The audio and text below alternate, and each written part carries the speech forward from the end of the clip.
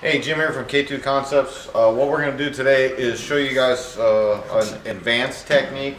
Uh, if you guys are new to the trade, I don't suggest you try this. It takes a little bit of control, uh, got a little be a little ambidextrous. These are uh, fishing lures uh, from my buddy over in Florida, Ed Richard. He does an awesome job. I don't even fish, but um, this is an example of his work. He put our logo on the side. it's just awesome. I'll never throw this thing in the water.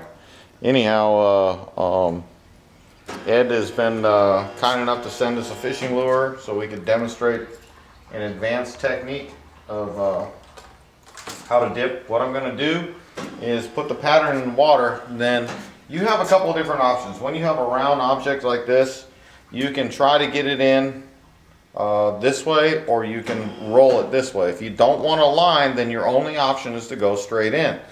Now, a lot of times when it goes straight in, the pattern stretches.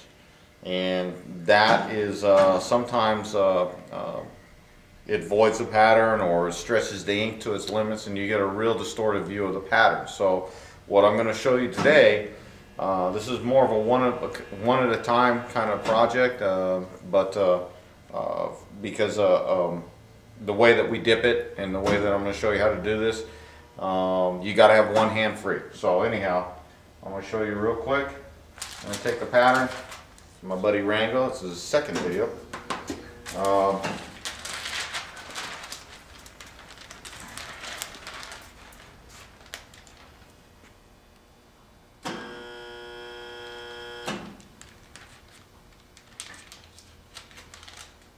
burn a little more pattern than I need to.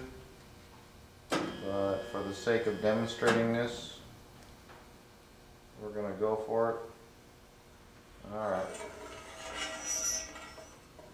Now what I'm going to do is I'm going to use my free hand as I'm feeding the, the object into the water, I'm going to use my free hand to push the pattern into the object, okay? And that's how we're going to do this. So I'm going to set my timer to 70 seconds. That's my phone. People call me all hours of the day.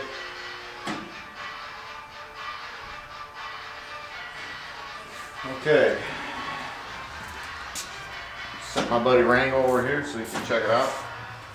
Um,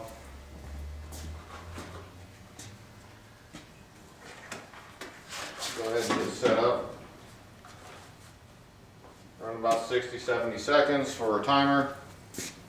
And again, this takes a little bit of control. With one hand, you're going to be feeding this in. With the other hand, you're going to be feeding the pattern in. Okay?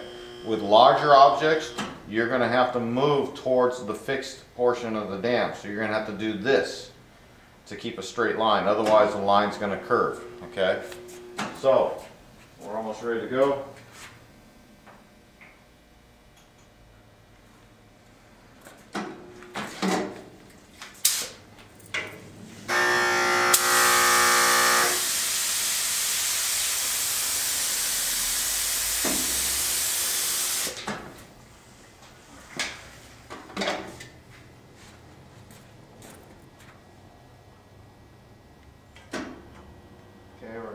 Pattern glass out. You can kind of see as your pattern starts to glass. Looks good. So, all right.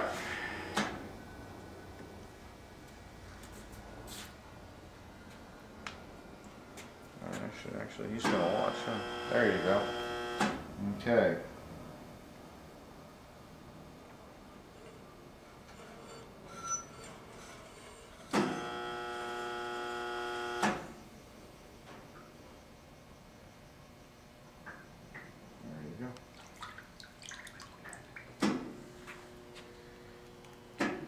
And that's how you do it. You can see it's a pretty decent pattern, stayed together pretty well. Um, now we'll get it over here into the rinse tank.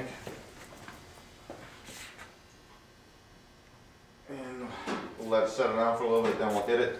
Anyhow, that's how uh, you're going to dip round objects where you don't want to see them. Sometimes you have no choice. If it's a real long round object like a shot, I think I showed you guys how to do that before. You're just gonna have to roll it. There's no way. You've got actually about a four inch draw. Most patterns will give you about four inches. Once you get beyond four inches of going into the pattern, it's gonna be stretching beyond its limits. Uh, good rule of thumb is about 20% stretch. So what, uh, what this technique does is it allows you to kind of, if you're right on the edge, four, you know, five inches, you're stretching it, you'll feed the pattern in. Dip and feed, okay? It takes a little bit of work. Again, this is not for you guys beginning this, but uh, for you guys more advanced, that's something that you can work on. Anyhow, that's it for this video. Uh, you can leave your questions, comments below.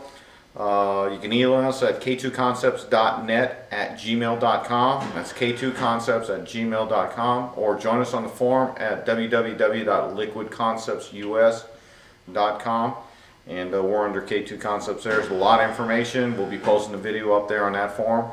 And uh, that's it for this one. You guys have a good day.